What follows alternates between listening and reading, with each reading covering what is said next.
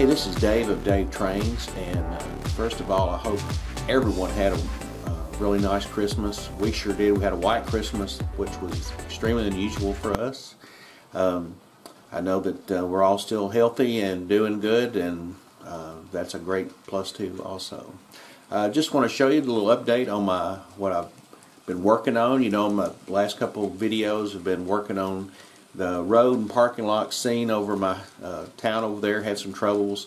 I think I've got all that settled out and um, show you what I've got done on that and made a few other changes to the layout once I, I took all the the old uh, styrene sign up and so to speak to try to repair that.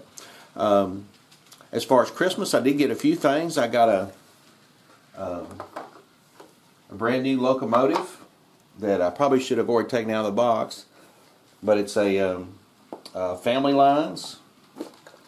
It is a uh, C630. Um, looking forward to get this going.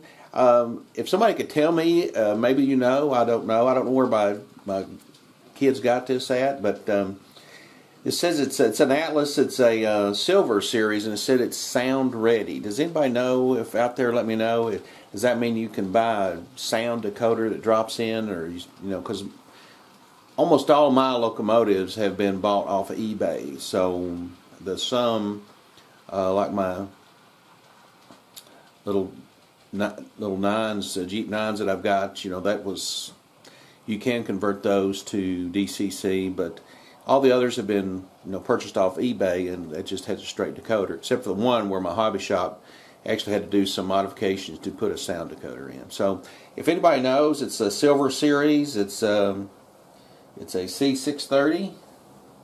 Yeah.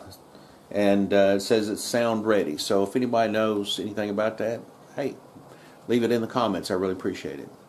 Now, something else uh, happened is a gentleman that I'm subscribed to, and I'm going to give a shout out for is um, it's a pretty good channel. Uh, check him out. It's uh, Fer Ferris Media Stan.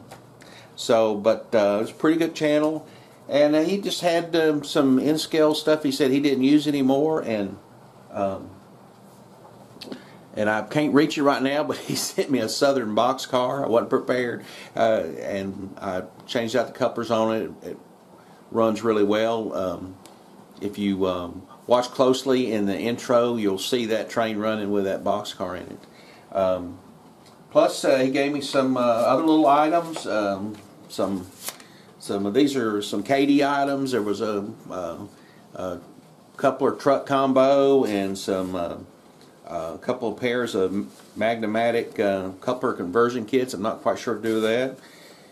And a little N-scale man. Hey, you can't beat that. So I'm really appreciative. Um, go over and check his uh, channel out. I'll put a link below and uh, uh, tell him that Dave's Train sent him.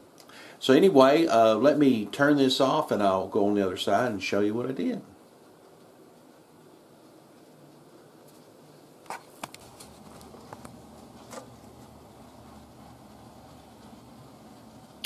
Well, first thing um, you notice I've got all the, uh, um, I guess, road and parking lot combo completed all the way down to right before it goes into the turn there.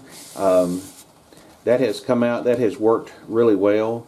Uh, one thing that I wished I had done, and I, I, had seen Mike Pfeiffer did it on how he did his roads, is I should have overlapped each side and then cut it, and then cut this part out so it would have been a perfect uh, seam, but I didn't do that. And so what I was looking at doing, and I don't know if you can see, is I took some uh, plaster of Paris. Uh, you know, with the Rona going on, we're just not going anywhere, and um, I had I happen to have a lot of this.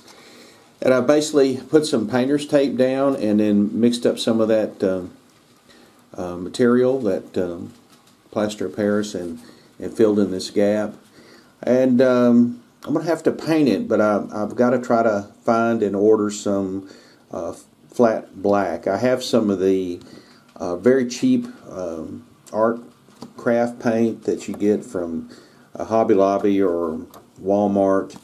And it's more of a gray color. It doesn't really match that. I mean you could say patch the road but I think uh, if I can get a flat black it'll look pretty good The only bad thing is this is this is can crack and break out easy. Uh, you can see a little bit right there, but that's just an old road. Um, but I think that's going to turn out really well. Um, I definitely need some more buildings for my little town, but other than that.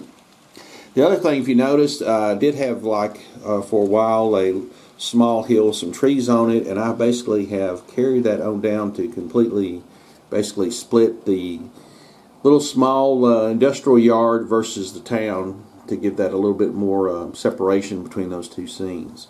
And um, that came out pretty good. Um, pretty well pleased with that. Uh, I guess my next uh, job to do is to do this area over here. Uh, these styrene signs that I have put down have never bubbled up, but um, I'm still going to change them out and uh, complete that scene. So I'm hoping in the next couple of weeks that I'll have the little town and the little industrial park over here completely finished. So hopefully uh, things will go on and that'll uh, that'll work out. All right. So it's not. Uh, it was a lot of work, a lot of time, you know, between Christmas and doing everything, but um, it did come out pretty good. So let me turn the camera off and bring her to the other side.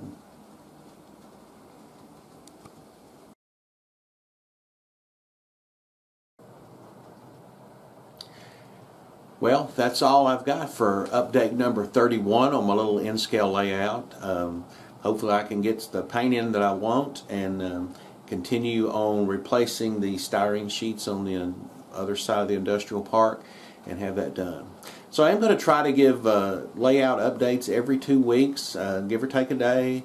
Uh, try to work more steady on the layout. Looks like um, things are kind of calming down as far as our projects around the house.